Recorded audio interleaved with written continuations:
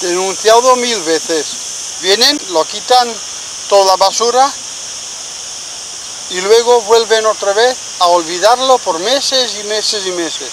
Nadie viene una vez a la semana para quitar la basura y está lleno de cagadas, de perros y de los seres humanos, hasta dos bolsas aquí lleno de basura y huele hasta el infierno.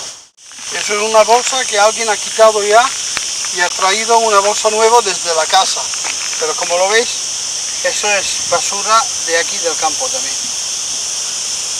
Y aquí,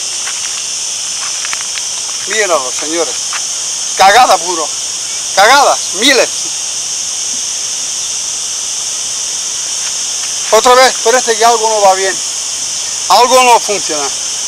Y no me digas es por el crisis, no es por el crisis, es por falta de orgullo, falta de limpieza, falta de cuidado, por falta, señores. Falta, falta, falta. Hace tres años yo estaba en el mismo lugar denunciando el mismo asunto.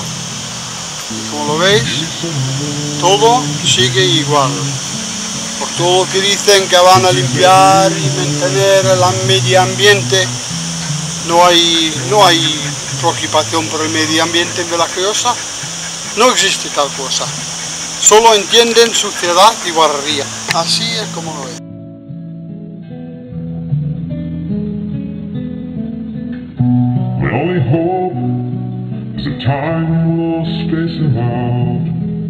Es un obra de arte. Parece que hay que preservarlo. Estamos en julio, el mes del turismo.